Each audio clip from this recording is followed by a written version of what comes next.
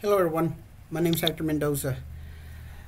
I want to show you some tricks uh, that might help you in the field whenever you get a um, an assignment that requires you to sketch the let's say your uh, other structures, your fence, even a pool sometimes. But uh, So I have a file here. And you can see that Eagle View was provided. But prior to me going to an inspection, I always want to make sure that I have all my structures, my fences, everything drawn, especially if you're doing things like TWIA, uh, you know, wind claims. Uh, so uh, already, so let, let me show you. So, you know, I'll go into Google, which I, I, have a whole video to show you how to import and export this kind of images, right? So I, I go to Google, I save it to my hard drive, I go in here, I import, and so that's the image that I uh, that I want to import so that I can draw from. I know for I know that uh, from from this point here to this point here it is 59 feet 2 inches. Okay. So I hit OK and then I hit OK.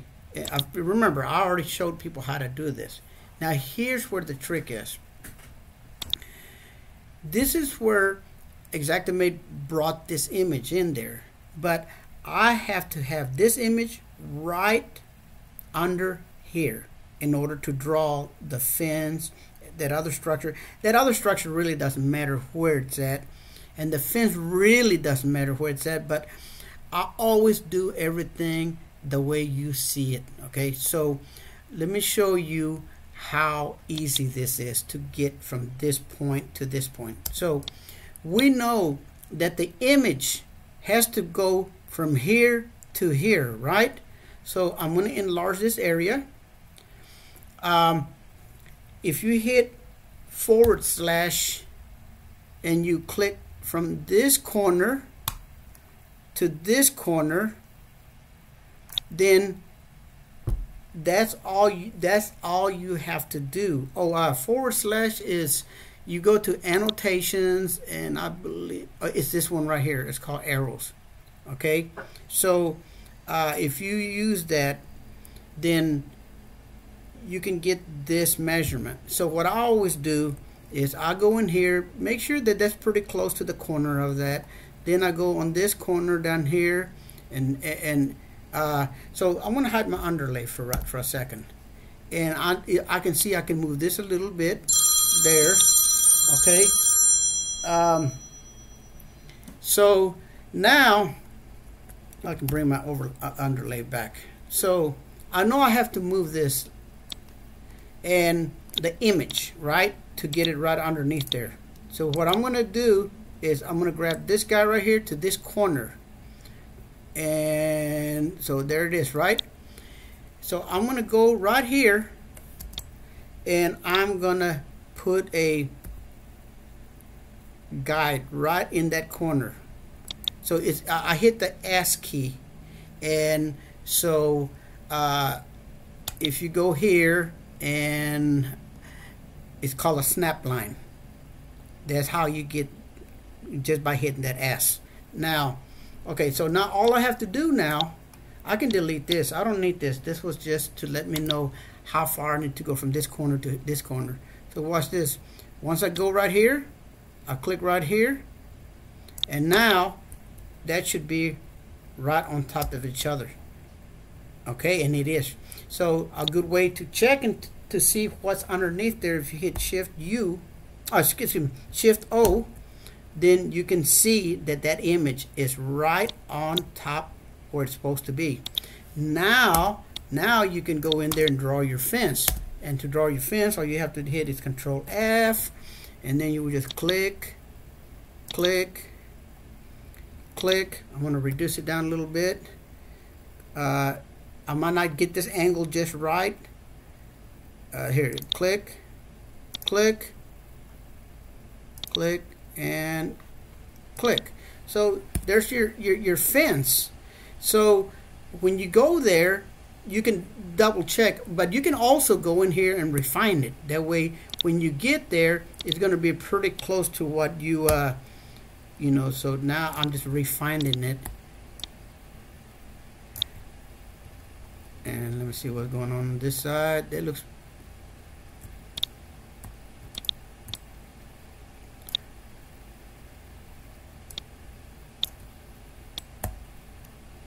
okay.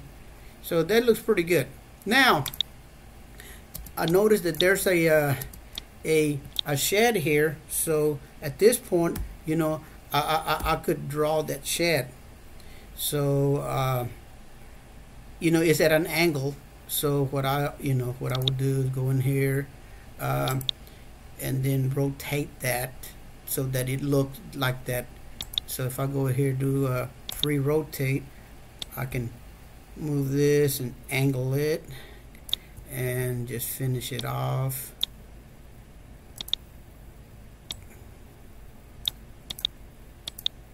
and then also notice that there's a uh, swimming pool there. And there it looks like there's also a small little shed right here. So we're gonna move this out a little bit out. And you could even add that little shed there. So um, and it's a small one. So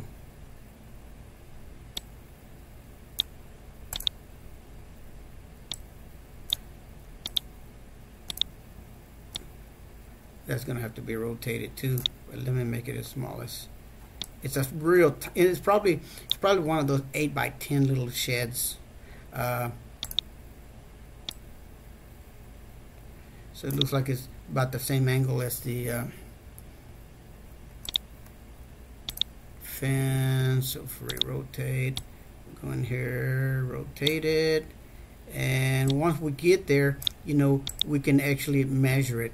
So so there's that little shed uh, and let's say you had this swimming pool and you know you might have to uh, do something with that swimming pool.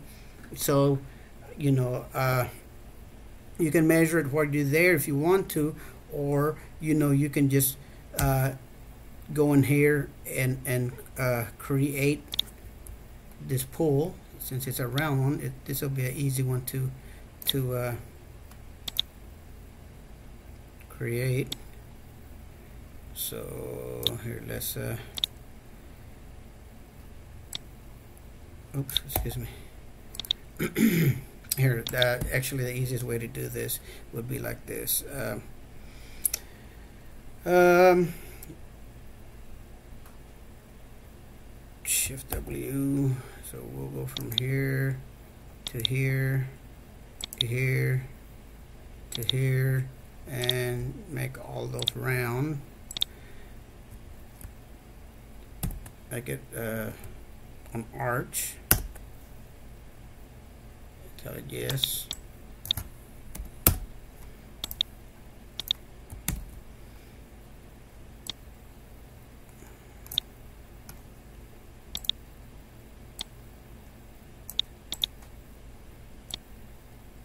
And you get yourself a little pool there and you can call it pool. Okay in here.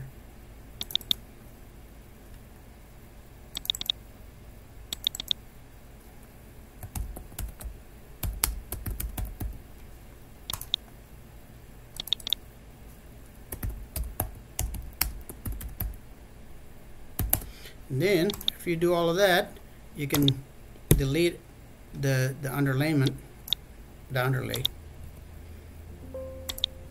and you got yourself uh, and the reason you see in that purple is because uh, there's uh, something underneath there. Uh, I see I had already drawn this in a different layer. So that's what that's why you're seeing that's what that looked like. That I was trying to figure out why that uh, thing was showing up like that. So I don't want to delete the uh, roof let me see what we got. 3D show all. Oh. We got this thing here and this thing here. Whoa.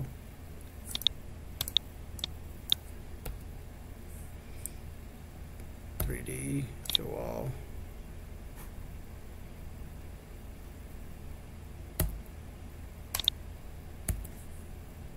Oh. Huh.